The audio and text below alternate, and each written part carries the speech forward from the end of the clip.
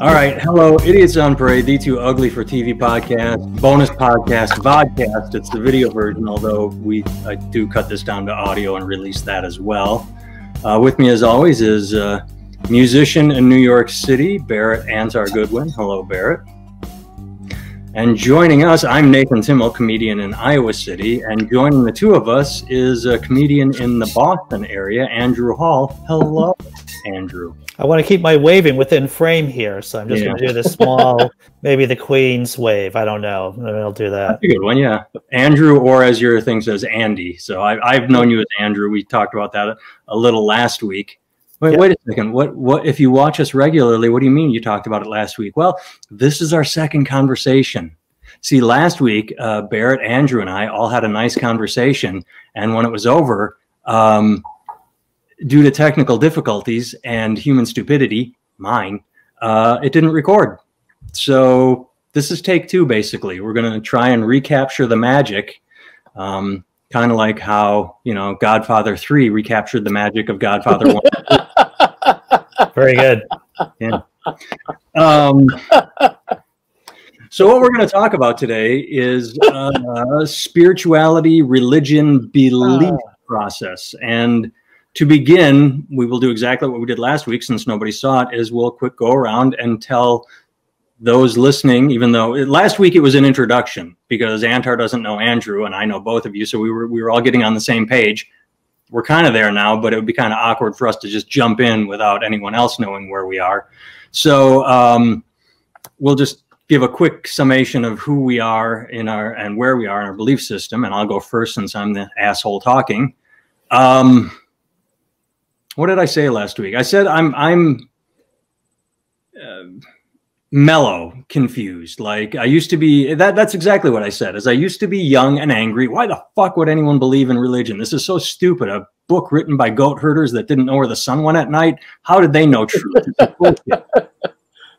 And now i'm old and i'm i kind of I, I kind of feel x files about it. Like part of me i want to believe but i just can't because i think it's just sort of absurd um, I've done a year study of the Bible I, in college. I studied Buddhism. I I think parts of every religion I've ever studied are kind of neat, but as an overall truth, I, I don't find any man-made religion, and and they're all man-made, all of them, to to be like if someone really wanted to sit down and explain to me the difference between Scientology and Christianity, they could try, but to me, just because Christianity was made up before Scientology, like you can trace Scientology to its origins because it's so recent, that doesn't make it any more valid than Christianity, which has a lot of flaws and a lot of borrowing and stealing from what became before. So I that that's me in in in, in a whole is is I used to be angry. Now I'm more forgiving, but I'm still confused. Um, who would like to go next? I will go next. There we go. I'm gonna film. I'm gonna fill that pregnant pause. So yeah. before I start, I just want to advocate being angry. you made a comment last week that uh, Barrett quite oh. enjoyed. Uh, you, I think you said anger is your superpower. It is my superpower. it is my gift. I want to spread it around like chunky peanut butter. That's what I want to do. Um, yeah, so, so, I'm an atheist. I uh, I don't believe in God. Uh, I am an agnostic atheist in the fact that I don't see any evidence for God, any good evidence. So why would I believe in anything that there isn't good evidence for? Is there a small, small, small possibility that a deity exists? Sure, there is. But there's also a small, small possibility of a lot of things existing, which I just don't have the time to believe in or the desire. And there's no money in it to believe in things that may not really exist. Actually, I would, I would argue with you there. so that's that's that's my position. All no, right. but, but let's clarify. Are you? I believe, and and I guess fact check this from our last episode. Uh, I believe you said you are an the last episode. No one should go looking for since it doesn't exist. Activist. Oh yeah, yeah, yeah, yeah. I'm definitely okay. um, an activist. I I okay, blog. So can you I, explain what that means to the sure. to the people? I think that what I do is that with my comedy, I run a comedy blog, Laughing in Disbelief, which is on the Patheos family of blogs. Oh, I also, that. Thanks for bringing it up. Sure. I also run a YouTube channel with the same name, uh, Laughing in Disbelief. So what I do is make fun of religious bullies. Let's say typically white evangelicals, which happen to have their noses up Trump's butt, for lack of a better way of putting it. People who wish to turn the United States of America into a Christian theocracy those are people who are typically my targets for my comedy. Mm-hmm. And on my YouTube channel, you know, I, I have scientists come in and we talk about things like I had a, a, biologist come on and we talked about the evolution of human morality, about how we inherit a lot of our predispositions, our moral predispositions from primates, from other primates, for an example. And other times I just have comedians come on and we just talk about fun stuff. So were you well, before you before you ask a yeah. question? Would you clarify your stance, Barrett, and then okay. then we will jump to all right. So give give everyone a, where yeah, let, let, me uh, let me. I'll do this. I'll ask my question so I don't forget it because I tend to forget things and they happen in less than like ten seconds later. Uh, my question is really: Do you did you become an activist? pre-Trump or post-Trump, and if so, why? But you can. Good but question. I'll tell you. I'll tell you what I think, and then you know we'll hear your answer. So yep. I, I'm much like Nathan. I um black. Exactly. Oh wait, I was born, I was born a poor. I was born a poor black child. um, I uh, I got that. I, right. I I deeply would love to believe like it, nothing would make me happier, truthfully, than to be a believer. You know what I mean? Um, no. Do you think there's something lacking in you now that belief would fill that hole with like cock or well, putty or? How to say this without sounding of sounding obnoxious, it would give me a nice escape clause for a bunch of stuff I don't actually want to have to worry about figuring out on my own because the problems are so massive that I, I think they're beyond any one person's capacity to figure out. And if I could just put that all on somebody else, that would make me happy to a certain degree. There'd be a sense of like relief if I knew that like there was a God in heaven, and you know what right. I did. Here. I didn't have to work you hard. Know, I just prayed better or more often. Well, even if I had to work hard, just that I knew that it was going to be guaranteed. You know mm-hmm. what I mm-hmm. mean? Like it wasn't a gamble. You know. Right. But right, it would be like having an insurance policy. Right, exactly. Right. and so that. to a certain degree, but but but also in another sense, like I mean, I've read I find that like if you read the Gnostic writings, if you read the Sufi stuff, and if you read like the the um the Kabbalah and things like that, right? You read the upper echelons of the big three desert cults, you know, you find the same thing, right? Knowledge of God through knowledge of self. And it really seems to be about something really good, right? At, at a certain level when you get way up to the top of the stuff. And I find that stuff beautiful. The idea of devotion, like as a musician, when you're in the zone and you're playing or you're doing something, that feeling is feels like divinity. It feels like magic to me. You know what I mean? And Can so I interrupt you just to clarify? Yeah, it doesn't even um, take music out of it, just performance. Because I I've felt right, that sure, having this moment with an audience where it's just like you yeah. feel the writers and musicians sometimes say that they didn't write the, the, the book or the song, or whether it was God flowing through them. And right. I've felt that. I have felt on stage like I'm kind of outside of myself, and I'm just talking and making well, a connection. Yeah. That, that's well, a that, that, that, that's a characteristic of being in what's called a, a flow a peak flow state, well, flow right? state, right? Right, a flow state. So so that you're right. just you lose you lose a certain sense of self and you're just totally immersed or submerged yes. in, in, in and, and does that i'm having a thought does that necessarily have to be put on god because wouldn't it in reality just be a moment of holy shit i have gotten away from my own ego for a moment because for for for the uh, every other waking moment of my life it's me me me or i'm doing you know th- this is a moment of of having a connection where you, you i mean i'm sure there are people that do look at it as an ego like dig me on stage but i look at it as like maybe my ego has gotten the fuck out of the way for just this brief period and i am experiencing oneness. I have no idea i mean it seems that though but again like the upper echelons of many of the religions, at least the big three desert cults, that's what they say. Like it that's what they're trying to get everybody to do at their highest level. Does that mean there's a God? No. Right? It just means that they're, they're, that too. Right, but because I mean like the the idea I suppose the question is is there a difference between religion and God? Right?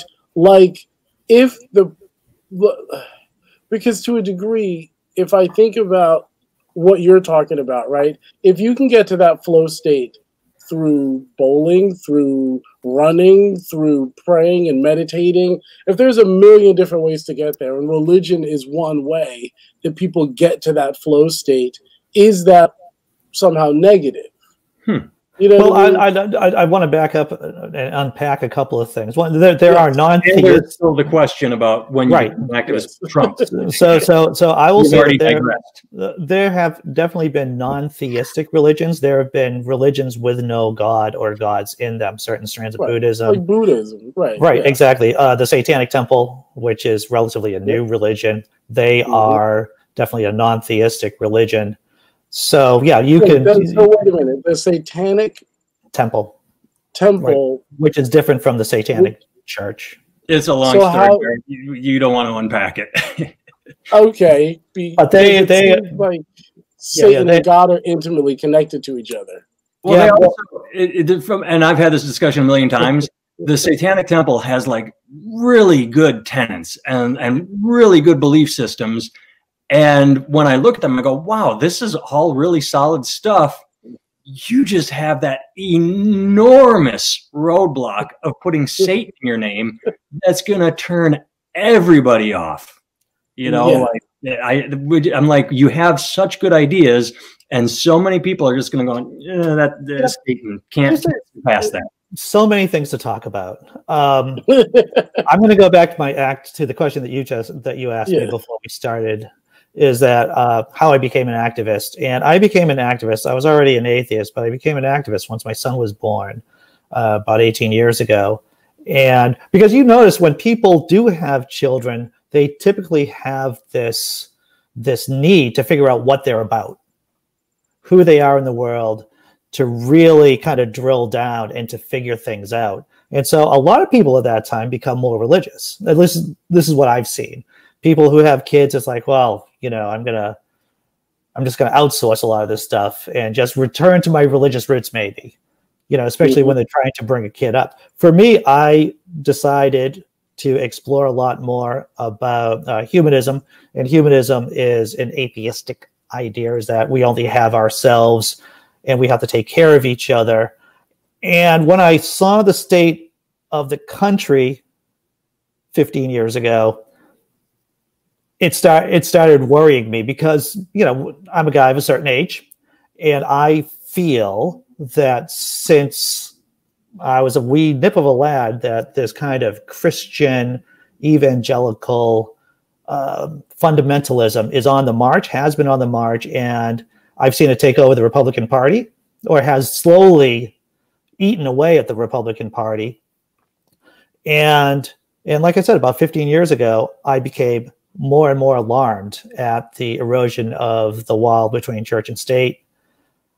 Once Trump became elected, I was pretty much like Elizabeth Warren when you see when she saw Mike Bloomberg on the stage. She basically said, "Hold my beer while I attack Mike Bloomberg with all of my time and all of my heart." Once Trump became president, I saw him as a manifestation of of all my concerns that I had and I'm like, well, I'm going to focus uh, at least 99% of my comedy and my time attacking the idea about Trumpism, attacking his his uh, religious allies, and just just like uh, vomiting up as much satirical pieces as I can to to do what I can to to speak truth to power. Basically, that's yeah. So so when Trump became elected, as Nathan can tell you, Nathan was on my old show, the Naked Diner podcast, and I'm sure we had discussions back in 2016, early 2000, you know, early 2016 during the primaries, that I thought Trump was going to win. And uh, yeah, yeah, it's it, has been very disturbing for me for the, as most of us for the last four or five years. Uh, so so I felt like I had to do some kind of had to kick my game up into a higher gear. What is it about the evangelicals? I can only answer for me, and I'm gonna, I guess, suspect that it is possibly the same for you. Um, that, that you find so offensive, especially when mis- mixing with politics, aside from the blanket, you know, like separation of church and state. With me, it is the blanket hypocrisy, the yeah. the the outright. Here are the teachings of Jesus, and everything we do seems to go against those teachings, yeah. without any sense of irony, without any sense of decency, moral morality.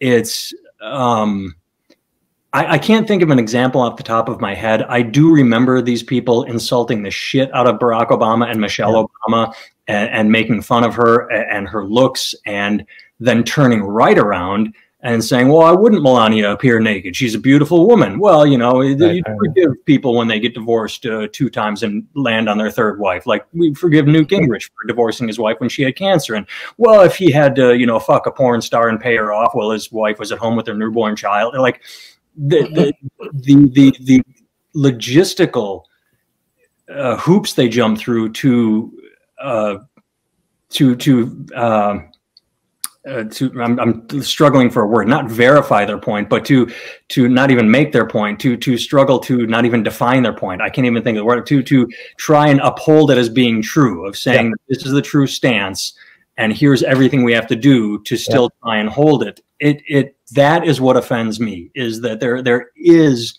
no moral high ground they can sit on yeah and yet they rest upon it what what scares and frightens me is that they want to turn the United States of America into Saudi Arabia or Iran, except yeah, you know, it's their brand of hypocritical Christianity. Documentary.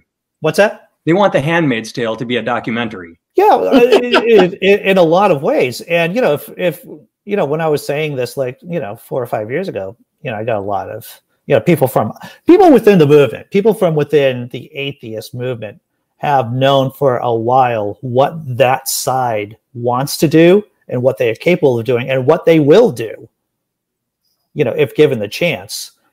So yeah saudi arabia they want to turn us into saudi arabia and iran pakistan one of those type of countries. They are innately anti-democratic. They are innately pro-fascist. That's what Trump supporters, white evangelicals, the that that toxic brand of Christianity is all about. But I mean, I mean, I agree with you because I think that fundamentally we talk about people being radicalized in Islam, and I think they get radicalized in the evangelical church, right? Definitely. I think that those kids straight up get radicalized and and trained in how to be little terrorists, right? Oh yeah. Uh, so I agree with you 100. percent my question is this I don't think religion is the problem. I don't think I think it's I think that with I think religion is religion does what it does. It's a binding agent, right? It's oh, a binding agent that allows people to to work together and seamlessly spread an idea. It seems, you know what I mean? Religion, like a larger version of the flat Earth Society. Right. People think alike are like, oh, we're just going to have this right. idea and they can run with it. Religion. If you if you consider to be religion and believing things that aren't true, or religion or believing in things that can't be proven, as soon as you start disassociating yourself from how do I know what I believe is real, then you're starting to get into some dangerous territory the, yeah, you're starting to get into some dangerous territory. I mean, and, and, the thing is, it's like I wouldn't even say that religion is a binding. Now, now I would say in some situations, religion does does bind. I mean, it's it's evolutionarily useful in that way, right? But it's also an accelerant. It is like gasoline on crazy. It's it's like a big, big gallon of just on crazy, and you just see it. You just see it. You just got to look on the news for like five seconds. Right. But, I mean, but yeah. I because I I find uh, that I do this all too often. So uh, no, no, uh, no, including the two of you in my next statement. I find it very easy, and, and I'm very quick to insult religion and, and, say it's dumb and and just be confused by it. However, um, I do stumble like I when I donate to the local food pantry. I go to a church. There, there is no other food pantry. It is a place of worship that says, "Hey, we have people in need, our community." So they, you know, just developed the food pantry. Yeah. There, there, was no one else doing it, so they took it upon themselves. So when I donate food to the food pantry, um, I, I, take it to a church. Um, and on the flip side, you you read about churches in San Francisco that put uh, uh, spikes on the ground so that uh, homeless people can't sleep on the church. But anyway, but uh, I, I, sent I sent the two of you an article. Like every so often, I'm reminded, hey, uh, judgmental asshole. Remember that there are two sides to every story, and there there's an organization right now of Christians in Florida who are banding together to take a stand against Trump, saying what I said earlier he in no way represents the teachings of Jesus. He is not a moral man, and he does not represent the teaching, eh, the what we believe in Christ and in love and, and in compassion. And they're going to try and get out the vote among their own community, among evangelicals, and, and say, look, if you can't vote for Biden, who has been a good Catholic man his entire life, then don't vote or write in whoever you have to, but you cannot vote for this man. And I go, yeah, okay. Why can't more of them be like this? Why? Why? I mean, it's pouring gasoline on the crazy. There can be good in there. Is uh, oh, well, you know, what do you think? You know, this is what helped me understand Christianity better. Is I was reading through a book by John Loftus. He he is an atheist now, but he was a preacher at one time, and he talks about Christianity as being plural, as Christianities, because there's so many different flavors of of different Christians. Right? There are some Christians who believe in the Trinity. There are Christians who don't believe in the Trinity. You know, if you include Mormonism as Christian, then that's a whole set of other beliefs that don't have a lot of things in common with other flavors of Christianity. And this is something I'll let you continue in a second. This is something we did talk about last week on the aborted episode, where I admit in my ignorance that I don't know the difference between Catholics, Christians, Baptists, um, Protestants. I don't I don't understand the difference between any of them. And people have explained it, but I so your your author continue. I, I apologize. So so when I think about about Christian communities, or Christian philosophies, I, I, try not to think of them as a monolithic group, just like with Islam or Buddhism, or you know, it's it's or even even with atheists, there are many flavors of atheist communities out there. So so I try to think about Christianity as as Christianities plural. So I try not to sweet you know paint everyone with such a wide brush. Uh, I like that because that if I if I that is a teaching moment for me, but because if I can keep that in my mind, then maybe I will in the future be less of a judgmental asshole when it comes to religion, where I'm just immediately like, oh, geez, goddamn Christ, you know, like why? Right, right, right, right, right. Uh, uh yeah, I I actually really appreciate you saying that because I think it's one of the things that like it, it, it keeps us like I think we have a tendency to look at people as monolithic groups. White people, black people, Muslims, Christians, you know what I mean? We say Native Americans as if there's one type of Native American. Do you know what I mean? And it's like, right, like I so it's true that there are many different branches of Christianity and, some of them have real strong problems with what other ones do. Right. Oh yeah so I agree with that 100%. I appreciate that. But I will say this if we take a country that is kind of founded on a handful of really, like, there's real, like, load bearing fictions in this country, right? There's like I like that load bearing fictions. That's, that's fascinating. That's great. and it's like it's not my terms. It's uh okay, all right. Steal it. Eric Weinstein said it. I think that's why that's who I stole it from. Okay. I don't know where he's in relation to Harvey. What the possibly, but uh, but it's true. Like I feel like if you have a country that is built on these real pillars of just like falsehoods, how do you have a thing that, like, it feels like we're primed for religion. Do you know what I mean? Like we're we're kind of primed for that kind of thing because we have so many fundamental beliefs that are just so clearly faulty. You know we, I mean? we, we as a species are primed for religion when life is yes. miserable. When when right. life is miserable around us, there is a, yeah. a, a, a really pretty straightforward correlation with the more miserable society is, the more religious it tends to be. That's oh, why absolutely.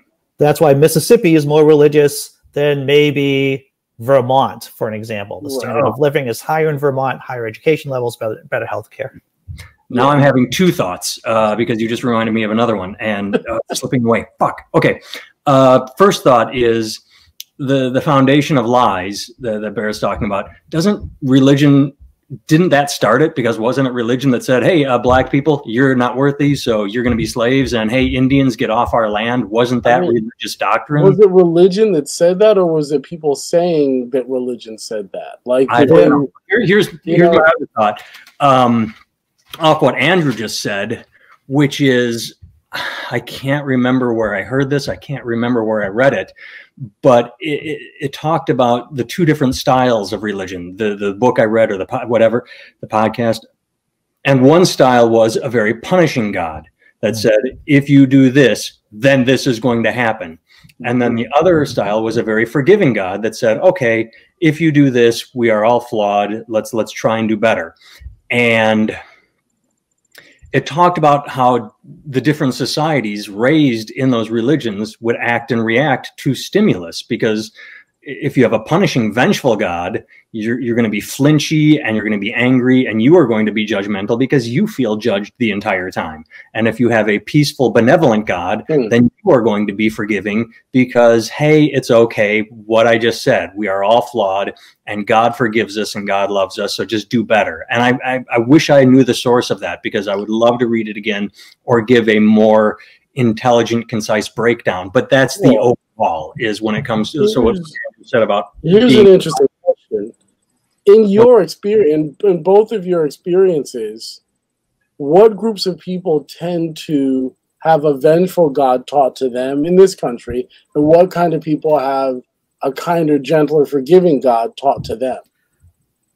I, I would say that the the you know it, it sounds like circular logic, but or, a circular argument, but gosh, liberal people who come from blue states with once again higher education, higher standard of living, they feel safer. Typically, have a God who's pretty cool, who is pretty forgiving. Uh, my ex-wife, she went to a church. She grew up in a church, and at no point she was talking about were they talking about hell. And I am from, uh, well, I'm from a hard city, and we talked about hell quite a bit, to tell you the truth. Mm-hmm. And so mm-hmm. she's like, Really? It's like, Really? So you can expand on that so that societies that have a rougher time, there is a tendency to create a rougher God. Is that to keep the people behaving?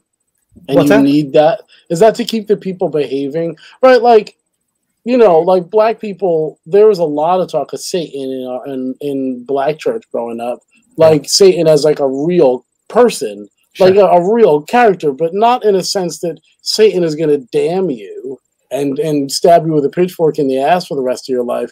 More that Satan is going to come into your life if you're not vigilant and pull you down to the dark side.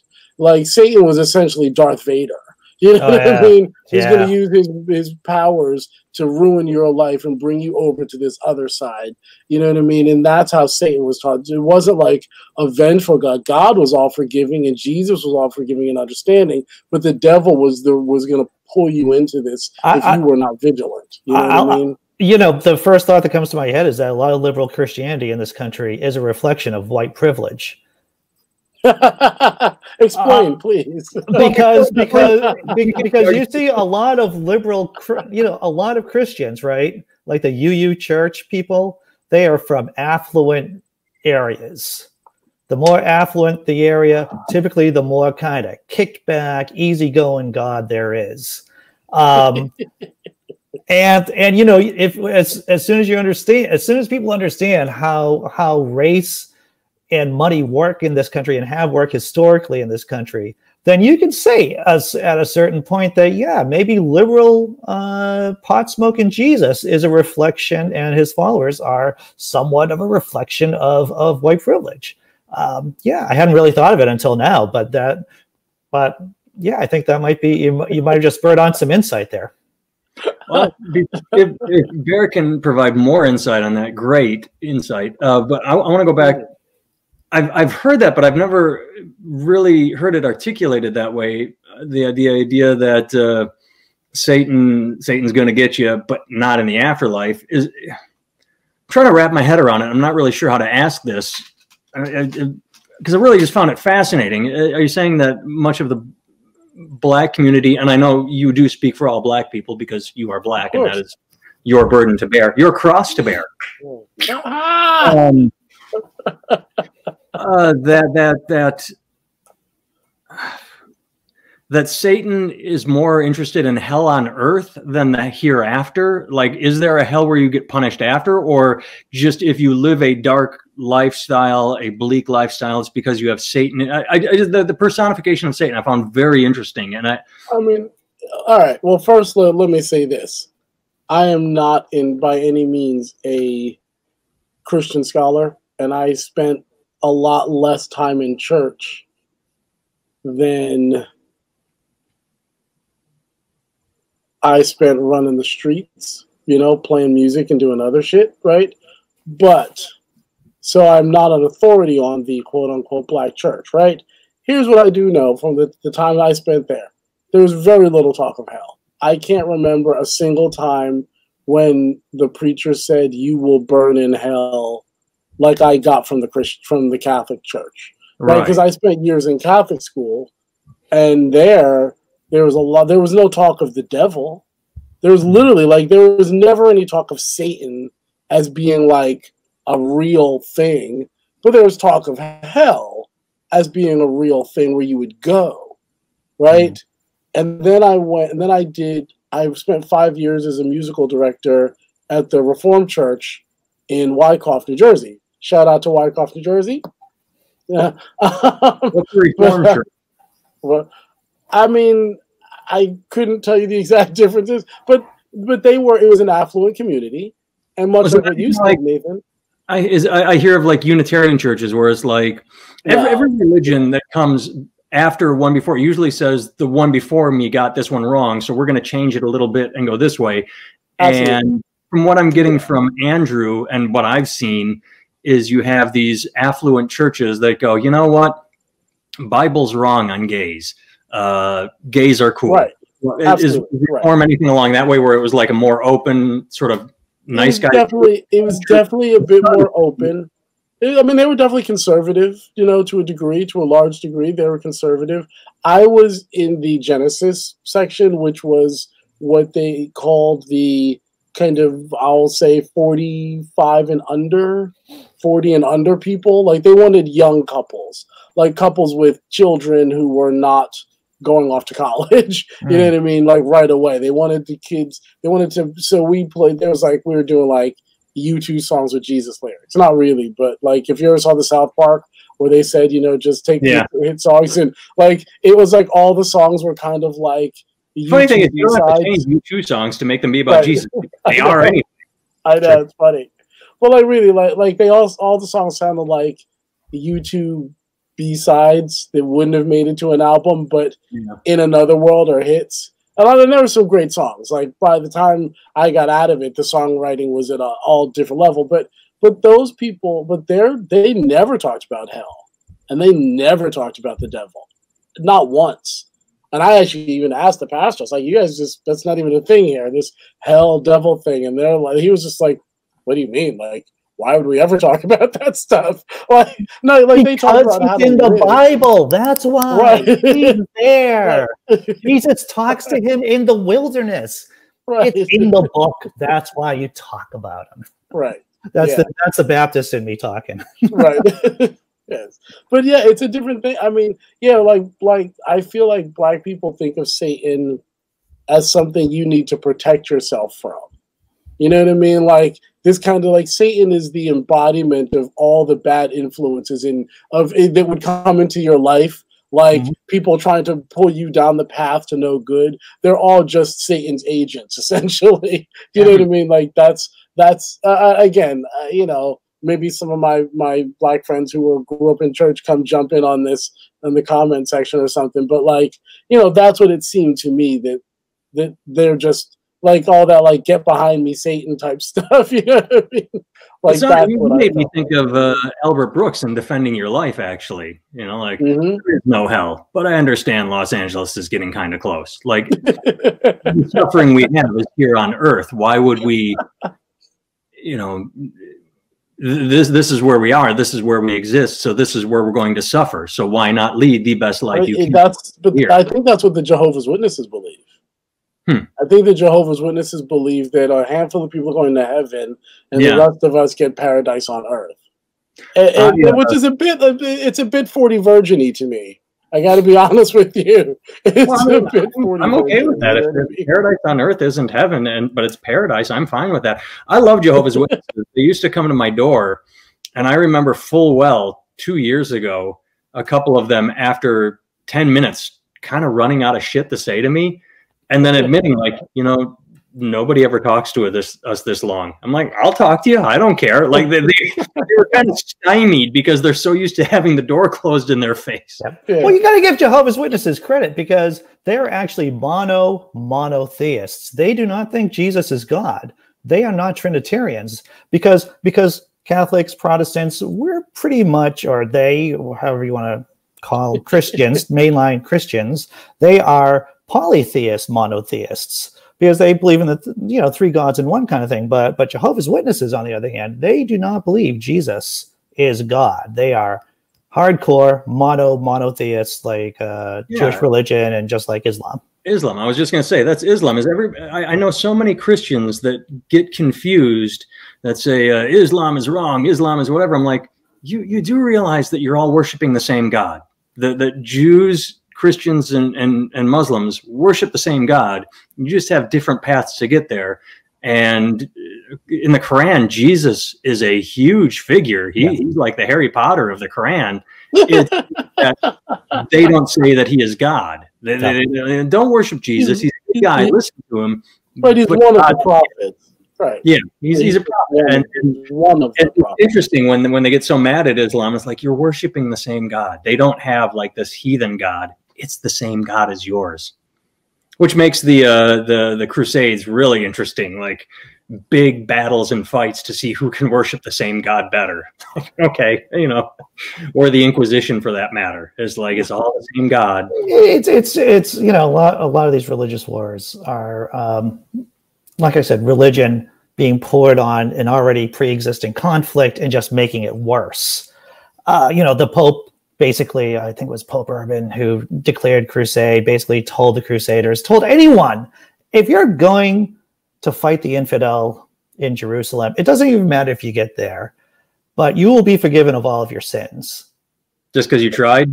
It doesn't even matter what kind of crazy stuff you do on the way, you will hmm. still be forgiven. So you can see how that made a bad situation worse. Yeah. You, you you said something uh, th- this sparked uh, a memory in me that that Barrett will probably like. Um, I, I think Andrew you'll like it too, but um, it, it really has no home, so I'm going to just throw it, lump it in here. There's no segue to it. You said you were a Baptist, or you were raised Baptist. I Oh yeah, yeah, So um, what what kind of Baptist? Uh, uh, we were not the treasonous Baptists. I always like pointing to that. out. That's what you said last week. Yes, you Barrett, I, uh, my college roommate, the first year, freshman year, his father was a Southern Baptist minister, and uh, Those are traitors, what we call. out Yes, here in the north, or at least what I call. They're just traitors. I was raised secular. I've already said I don't know the difference between any of the religions. I, I the Christian religions. Like I get the difference between Judaism and Islam, uh, but I, I, don't understand the difference between the Christian religions. How they all, whatever. Um, so I was raised secular, and uh, I, I, which means I didn't know anything about any religion at the time, and. Uh, Barrett and I are my, my friend Roy, my, my roommate, our friend Roy, uh, is getting married, and his, he's he's an atheist, and his father is a Baptist minister, and he's marrying a Jewish woman, and I'm trying to think. What, what's that? Saucy. That's an interesting yeah. sauce there. Interesting, interesting mix. So we go to West Virginia to for the wedding. I'm sorry to hear that. What's that? I'm sorry to hear that. yeah. And uh, I don't know if this is Barrett. Maybe you can jump in. I don't know if this is at the rehearsal dinner. I think it was the wedding. I, am pretty sure it was the ceremony. And everyone hates me because I'm me. No, okay. Because well, he shaved his head into a mohawk and he was like standing in the guy's wedding party and wait, wait, wait, wait, mohawk the night before. Let's be very clear here. Let's be very clear. I went to the rehearsal dinner with a full head of hair and a beard. And then the next morning, showed up for the wedding day with a mohawk right. and a goatee. Savage. exactly. Savage. So, a strong statement, sir. Know, a strong they statement. didn't like me from the get go. I think I think my my toast at the at the rehearsal dinner had a lot to do with it. I gave a toast at the rehearsal dinner that did I give a speech at the wedding too, or did that get shit canned after my toast? Oh, it doesn't matter. So everyone hates me because I'm me, and uh, I, am trying to win people over. Like I, I want to be nice, you know. Like I'm not gonna fawn, but I'm trying to be nice and people are filing in. It was the ceremony; it wasn't the dinner. People are filing into the ceremony. And they're they're splitting bride side, groom side, bride side. And, and as I said, uh, it's, it's, a Jewish uh, woman that he's marrying, and I see under a table a box, and it's open, and I just see in the box. I'm like, oh shit, that that's important. That's important. And and I and I run out and I I'm looking around and I see the the bride's father, a very stern Jewish man and I go, hey, uh, I just wanted to let you know people are filing in and sitting down, but uh, there's a box of beanies under a table. You might want to put those out so people can put their beanies on. Mm-hmm. And he just looked at me and went, those are yarmulkes, and walked off. And I'm like, I didn't know what the fuck they're called. I'm trying to be nice. He was super pissed at me for yeah. calling beanies yarmulkes. I'm just like, dude, be a dick. I don't know what they are. I'd never heard of a yarmulke. I just oh. knew it was that little thing you put on right, your right, right, right, right. Nice. That's funny, dude. That's funny. Is there anything else you remember from that, Barrett? But I just thought you might get a kick oh, out of that. I remember you hanging out with your weenie hanging out at the at the at the fitting. Fuck you! I did not. That still pisses me off to this day. Oh, I'm still angry about that. You you let your penis hang out? Is this this is an absurd story. So Barrett and I are standing in the wedding. I'm the best man. We're he's a groomsman. We show up and we call Roy, and Roy says, "Go straight to the uh, haberdashery to get fitted for your tuxedo."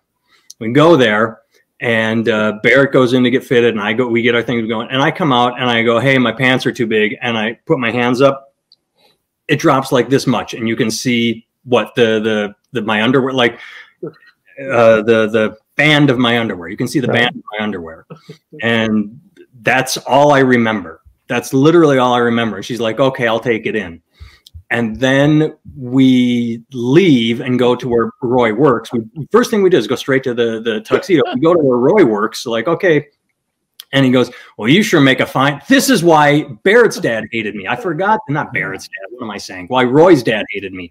Um, so we, we, we go to where Roy works and he goes, Well, you made a, a fine first impression. I'm like, What are you talking about? He's like, My dad. I'm like, I, I haven't met your dad yet. He's like, He was at the tailor's. I'm like, why didn't he say hi? He's like, because you were walking around with your dick out. I'm like, what are you talking about? And apparently, Roy's dad had said, I came out of the, the fitting room with my dick out, going, woo, look, you can see my dick, or whatever the story was, or that I was half naked with my pants on. I told him, I'm like, I dropped my pants, like, and I said they're too big. And he's like, well, you, and, and, and that was it. Like his dad had it in for me. I'm like, what kind of fucking asshole is this guy? Like both dads are just fucking cunts, and it was insane that that that me showing this much of my underwear to show the pants are too big equated to me having my dick out. I So- mean, you do know that both fathers are watching there, but one guy's a minister and the other guy's Jewish, and they're watching. The minister's watching his atheist son marry a Jewish woman. Yep. You know, I bet Yeah. he might have. Had, he might have been a little bit tense. I think there's a lot going on in both of them. And, and Roy, the, the, the- girl, I can't even remember her name. I'm going to tell you something shocking. Ended in divorce. Oh, yeah. Didn't didn't work out. But she she was very she was a very nice proper Jewish girl as I remember. I I, I enjoyed her very much as a person. And and, and Roy, nice guy. Uh, you know, atheist, musician, long hair down his back. Uh, Yeah. you know, devil may care rebel. So yeah, the the Jewish father was probably mm, might might have I been a little. I mean, again, daughter I'm here. making assumptions. I don't know any of these people. I don't know. Well, I couldn't pick Roy's dad out of a lineup if you paid me. You know what I mean? neither But I, if, if if you ask me Yeah. what her father looked like, I would say Lee Van Cleef, but uh, that could just be Ah. making something up. Lee Van Cleef. Awesome. That's that's what I remember is just sort of this Van Cleef and a yarmulke. Did he have a pocket watch? I don't remember. Oh man, you guys are funny. Um, all right, so back to is there a God or not? Probably not. Well, we let, let's shift a little bit. We talked about this last week, but we had to rush off because of time constraints, and we don't have any. Um, we talked about karma a bit, and I, I thought we were going down an interesting path before we had to go. And I state for the record that I don't believe in karma. I just I I would it's it's like the I would like to. I would like to believe if I do something good, then something good will happen to me. And I told a story, and I'll tell it again. Um, I was asked to do a charity show, and uh, a, a, guy had was diagnosed with uh, Lou Gehrig's disease, and they need money. It's big medical bills. And I said, absolutely. Uh, and, and I've been quarantined. I haven't done comedy in forever. Let me come donate my time and make your people laugh. And it was your friends and family and whoever's coming out to the show, and it was a great time, and I loved it. And, and I felt good just because I felt good because I did something good. I did not say yes because ooh, this is good karma for me. I did not feel good because ooh, now now something's good's going to happen to me. I just felt good because I did good, and that's the end. And then the next week, I got pretty fucked over by, ironically, a religious group. Um, and I'm like, see, life is just random. There is no karma. There is no debt. You got screwed over because you did the charity event? No, no, no. It's completely separate. Okay. Completely separate. I got fucked over by a religious uh, uh, professional group that that uh, is comedy related. Anyway, uh, I've actually signed a non-disclosure form, so I can't even talk about it now. Uh, oh, wow. Look yeah. at you all. my first non-disclosure, like, uh, like you will not acknowledge this production company. You will not uh, talk about this uh, production company. You will not mention them by name. I'm like, wow, this is neat. This is uh, what uh, Epstein's victims or Weinstein's victims probably felt like when they were signing as employees. Um, You can't even talk about the leaky ass? the what? The leaky ass. I, I The- missed something. The leaky ass. You can't even talk Oh. about the leaky ass? can't talk about anything. Okay. all of that said, all of that said, I, I kind of want to believe in karma because when there's a Trump flotilla and a bunch of boats sink, then I sort of go, well, see, maybe you know, maybe there's karma where you know Poseidon, god of the seas, went okay. Fuck, I, I'm gonna th- sink." that, that might just be proof of stupidity. it is, but that's where I say I, I'd be neat if it was karma. So that that's where I stand on karma. I don't believe in it, but I kind of wish it was real because. But I mean. And well, I, I, I, I'm going to be on a show in about on next Tuesday, and it's going to be about Hinduism because a lot of, the, of our ideas about about karma, you know, stem from uh, Hinduism, uh, from uh, sub, from from the subcontinent, and you know, in that way, karma is a complicated way of blaming the victim and keeping people in their places. yeah. And what it is is that if you have a horrible disease right now, or if you're out of luck, or something horrible happened to you, well, it's because you did something in your previous life, so you kind of deserve it. Yeah. If you're in a position that you have no power in society and someone's bullying you, I'm sorry. That's just how it runs. Better luck next time. that is in your next life.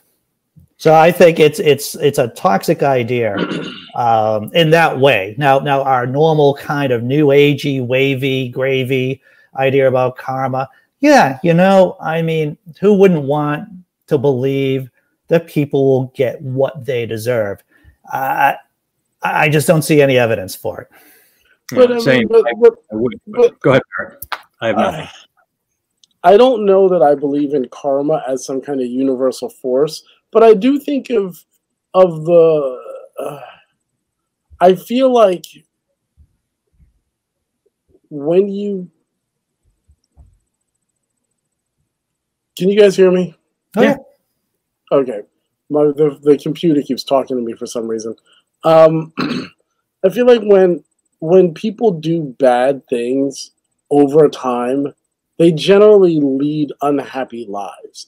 I know people who I think I said this last time, and you said, "Well, you know, plenty of people who do bad things and sleep at night, right? Sleep like and babies." Think, and I'm sure that they do. My question is, other than the money, what is the like if we take the money out of it as a metric for success or for mm-hmm. karma right are they ha- do they have happy relationships with their spouses their children their coworkers and people like that. Because most of the people i know who are ultimately not good people no they're all their friends are like them too which means they're always stabbing each other in the back and they don't really like each other that much. And most of them have really shitty relationships with their romantic partners and many of them have shitty relationships with their children and you know, family, I, you know what i'm saying? Like and i, I know that like, I, you know, I might be biased in this but uh you know I, just, okay let me back up i i believe that there are some people who are happy right they're sure. just they have a genetic predisposition towards being happy and uh-huh. fictitious god bless them that's great all the more power to you. I just think most of us are just on some kind of sliding scale of miserable, um, struggling. I, I, I disagree, but oh yeah. Okay, you're you're the positive one, I guess. I wouldn't say a sliding scale of misery. What I, I think I think happy. Uh, Billy Joel said this. Someone said, "Oh, you're rich and famous. You must be happy." And he's like, "Happy's an extreme." sad yeah. is an extreme. I think most of us are just in the middle. Now that I agree with. I wouldn't say misery, but I'd say just just level. You know, with with with, with an extreme on either side of happy or sad. Okay, okay, well, I'll I'll give you that. But let's say you know I haven't seen any peer reviewed research that have that has shown that there is a uh, any kind of relationship between doing quote unquote I don't know evil stuff, and we can figure out we we can we can define what evil stuff is and what it isn't. Um, and I haven't seen any kind of research that says that the more evil you are, the less happy you are. I haven't seen that. What I have seen is that Hitler liked dogs, and he seemed to really like dogs um, up until the time that that um, Allied bombs started falling on Germany. There were a lot of happy freaking Nazis, basically. Um, mm-hmm and living their best lives or what they considered to be their best lives. So, you know, like like I said, uh, uh, it's a very tenuous relationship with how moral, quote unquote, moral a person is and how how um, fulfilled they are in life. Uh, mm-hmm. I don't know. Yeah, I like that. I wouldn't say that we could decide. You said we could give a definition of evil because I don't think we can. Because right now there not there aren't, but people there are people out there that will watch this and say we are evil for even questioning God or yeah, yeah. You know, so so evil is definitely a sliding scale of of uh, whatever you want it to be. Yeah, yeah, true. But you know, I mean, in, in, a scientific way, you could you could just make a. I mean, you could just say, well, this is how we define yeah. evil, right? And you could say define you could define evil as just being some kind of version of narcissism, some kind of malignant form of narcissism, where and but even that, you know, part of the definition would make you un. Well, I don't know. You know, now I'm trying to to to work this out in on on on camera. But you know, you could, if you're narcissistic. I've known a lot of narcissistic people, and they are happy. They are just they're like yeah like really happy people. But, I mean, they would you argue that that's a psychological disorder? you know, coming from you know how you see the play is where you're sitting. Yeah, definitely. From what I where where I am, it's like, dude, you are messed up. Yeah, right. But But, they're you know, crazy. but right? but but but So- in their but but if the but if they're in sales or they're lawyers or they're in a or they're in a job that kind of rewards this kind of narcissism, then you know that they they just found something. They they they just found a way to make it work. they just Oh. monetize their narcissism. Exactly, and they're happy. They're happy people. like I think I think Joel Osteen is probably very happy, and if you want to talk evil, I I think he's evil in a in a very interesting way. Hardcore evil guy. Hardcore evil. As far as uh, I don't know how this relates to karma. I really don't, but uh, Barrett, I think you said something. We which said we we we equate uh, success with wealth. Yes. and I know not well, not personally, really, maybe, but I, I've read a million stories, million celebrity stories, where they were complete assholes, cutthroat assholes to make it to the top of their profession. And once they got there and they were rich, they realized they weren't happy. So then they're like, oh, now I'm going to focus on me. And they became good people. And so, you know, they weren't punished karmically for being assholes. They did make it to the top of their game. And then they're like, oh, well, now I get to work on me because, you know, I don't have the stress of a, a daily job or I don't have to worry about unemployment Well- or I can, I can do yoga all day or I can hire a nanny to take care of my kids. And then they became uh, better people. No, no retribution for the people they hurt and fucked over along the way to be successful. So, I mean, I mean, that- but, but I mean, I get, but to me, this comes down to one how we defined it. Much like what you said, where you know where you sit in the play depends on your you know your perception makes a lot of difference, right? Hmm. Because here's what I'll say. When I was the kind of guy who would show up and kind of be somewhat unprepared and not have my shit together, and dudes would come in and really hold me to task, I think they were assholes and I think they were being mean. And when they went on to be successful later, I'd say that guy's an asshole, and you got to be an asshole to make it, right? And then I started to really get my shit together, and then hold other people to task when they didn't, and I realized I became that asshole. I mm. became the asshole I used to be, and I realized in being that guy, I was like, "Well, this guy isn't an asshole. He's just a guy who doesn't want to waste his fucking time, and he's not trying to waste his time with people who aren't really about shit. And if Yeah. I'm not really about shit, he's not really gonna." You know what I mean? Like if these people go on to become really famous and other people go on, it's not because they're assholes. Right. It's because they have a certain place in which they see their value as being worth more than the situation they're a part of. And I could get that how that there's a thin line between that and narcissism. Do you know what I mean? Like Yeah, there's yeah. a place in which you actually are overqualified for something, and then there's a place where you think you're overqualified for something, right? Uh, and there's yeah. a place where you refuse to tolerate less than you think you're worth, and there's a place where that comes off comes across like being a dick. But there is a line there. Do you know what I mean? Make Yeah, well, you know, this goes back to the whole, you know, the Trump rally with the boats and everything about wanting to be, you know, wanting there to be comment. But when I said, well, wh- what there is is that there's evidence for stupidity, and and I just want to bring it back here is like when you figure out the system of how to be successful, that might create dickish-like qualities, or what Yes. other people may may create dickish-like qualities. But what you're doing is that you're not, you know, for lack of a better word, you're not being as stupid as you were before. And, and so once again you know it's it's evidence that intelligence works hard work hard work counts. Uh, stupidity generally is bad. Uh, but is it evidence for karma? I don't think so. Yeah. Yeah, I mean, I, I, I'm I'm inclined to agree with you guys. I will say it's one of those floaty thoughts that I got to grab it fast, and it's already half gone. Um, let's see if I can grab it again. There's something. Ah, two things. One, Hitler, Germany, religion.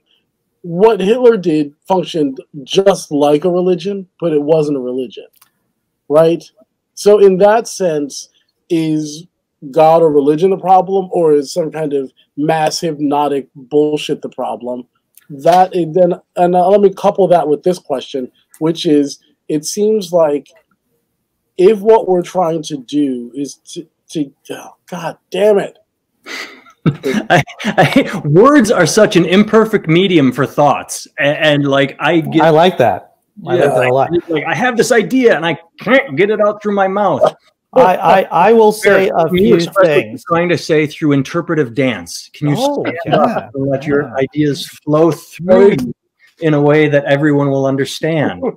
or maybe can you quick whip up a song? yeah, there you go. Go get your base token. I know you have one. God damn it, Cartman. nice, nice.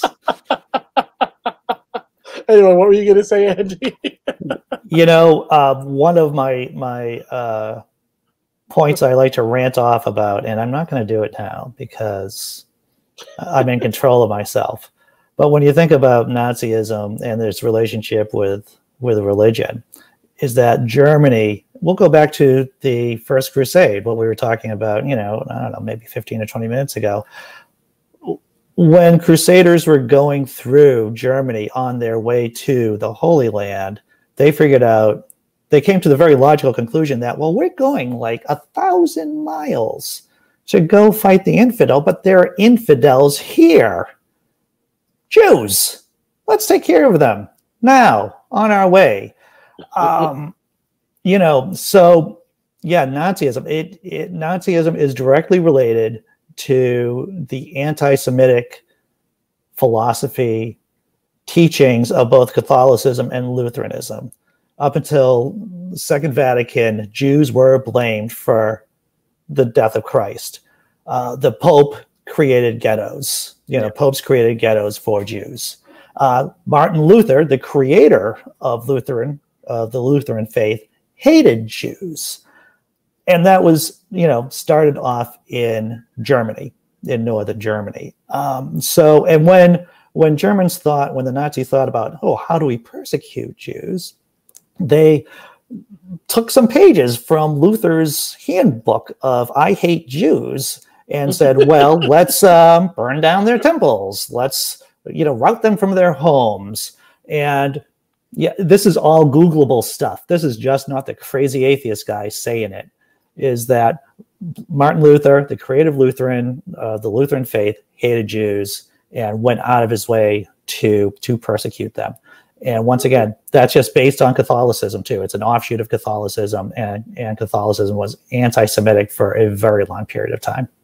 Let me let me take what Barrett said and tie it to something you said, Andrew, a while ago. That uh, you know Vermont is more peaceful than Mississippi. When people at their worst, that's when they latch onto things more. I mean that that gave rise to Nazism. Is after yep. World War One, Germany had the shit kicked out of it, and instead of like the Marshall Plan after World War II said, okay, uh, kicking them when they were down didn't work after World War One. After World War One one was over, it was all right. You fucking started this shit. You're paying for everything. Yes, exactly. Germany could not get out of that. So Hitler comes along and goes, hey, we're Germans. We're proud. Fuck those guys.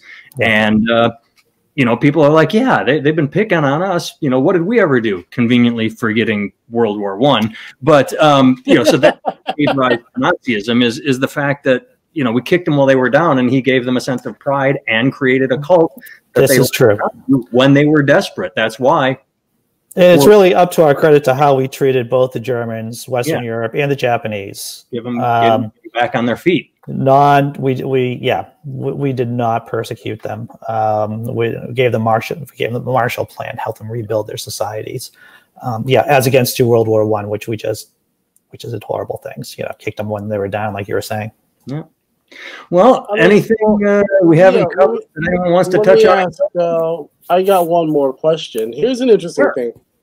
Something you said andy earlier about what led you to this place one of the things that I found interesting about that, aside from my humidifier being full, I was going to say someone, okay. someone's, someone's uh, carbon monoxide poisoning. Which one of us is going to pass out? I hear beeping. Right. Um, but but this is one of those things. Like when we talk about the kind of birth of this nation, no pun intended with the movie, even though they kind of looked exactly the same. Um, the, there's a kind of thought narrative that many of the kind of black intellectuals have been running with that said like if we don't deal with this I mean, as well as like 100 years ago, 50 years ago, 60 years ago, in the 70s, if we don't deal with this whole kind of racial issue, there's going to be a reckoning because this country is built on all these kinds of lies. And that is going to lead to a place that is going to look like.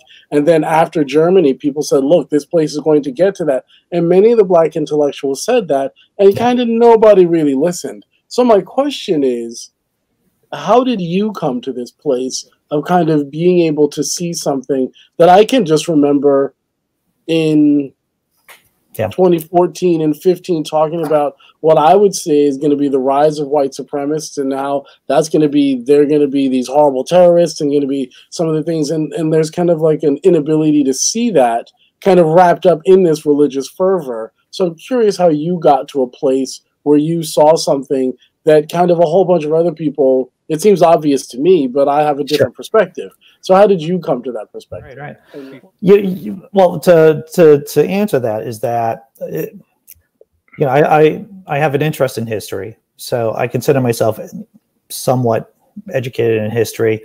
I've had a fascination with the fall of uh, the Weimar Republic, which was the republic in between um, World War One and World War Two in Germany. I read a bunch of books on it when I was a kid, and also being a comedian. Being a comedian means being an outsider to some extent.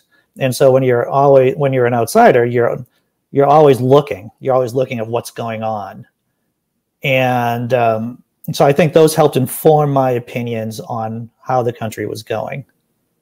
And and you know, atheists are a religious minority too and so that helped inform how I saw things also. Mm-hmm. Yeah. Okay. Fascinating. Yeah. Yeah. That's interesting shit. I can't figure out how to turn my credit back on right now. So uh, instead of me sitting here typing while you guys talk, do you, do you want to put a cherry on this and see? Uh, hopefully that it yeah, over like you said. Fun. This is uh, good shit, fellas. Yeah, yeah, this was fun. I had to get apologize for my yeah. awkward departure. But as, before she even started uh, hammering, I, I, was saying like, oh, you know, we've been doing this a little over an hour. Let's try and wrap it up. But uh, Andrew, quick, uh, Barrett, I will say, is at antargoodwin.com, musical director for the Katie Henry Band. Uh, I am at nathantimmel.com. I am the comedic director for Nathan Timmel. And then uh, Andrew, plug yourself. so you can find me. My blog is Laughing in Disbelief. It's on the Patheos non-religious channel. I have a YouTube channel that's with the same name, Laughing in Disbelief. I do all kinds of fun and chaotic things there too. You can find me in those two locations. And I'm, you know, of course, I'm on Twitter too at Laugh Purgatory. Well, there. thanks for thanks for hanging with us, Andrew. Had yeah, a blast, guys. Fun, Had a blast. Yeah, man. Uh, let's do this yeah. a third time. Uh, yeah. and, and, hopefully it'll be the second time we actually record and it works. Not yes. if one suddenly fails for no reason. I'm, I'm going to go over here and click end broadcast. Yep. And hopefully it all